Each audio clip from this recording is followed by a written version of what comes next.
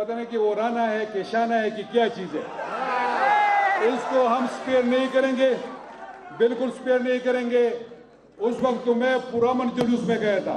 खान साहब दोबारा कॉल देंगे तो मैं बताऊँगा जो खैबर पुख्तनख्वा की फोर्स है, वो मैं इस्तेमाल करूँगा। और ये जो पता नहीं रंगीला वज़ीर आज़म है कि क्या चीज़ है? आई डोंट नो अजीब सी चीज़ है। मेरे ख्याल में इसको तो पहले किसी किसी सेक्टर्स को उसको दिखाना चाहिए। ये कोई मुझे कोई अजीब सा केस मेंटल केस है वो।